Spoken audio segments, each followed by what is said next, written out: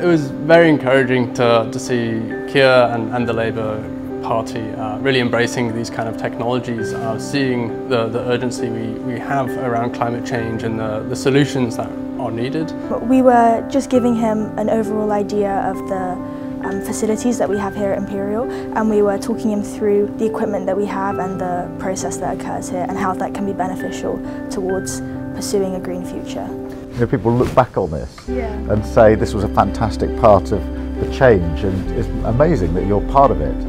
Yeah, he was really enthusiastic and um, he kept asking more questions and we went into much more detail than we expected. He picked up stuff really fast and he's really enthusiastic, really interacting. He kept asking questions, you know, bouncing his opinion back to us, providing instant feedback. If he has anything that he doesn't understand, he will actually asking us for clarification. We should be pushing for net zero as soon as we possibly can.